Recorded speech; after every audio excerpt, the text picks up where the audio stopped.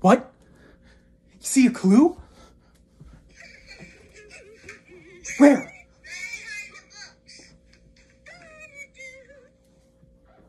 Where?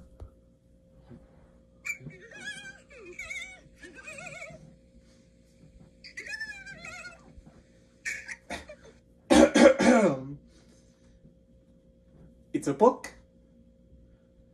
It's a book. It's a clue. We need our handy dandy notebook.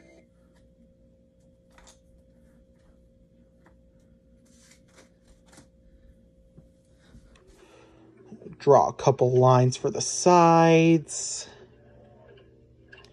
A rectangle. And some lines for the pages. And now we have a book.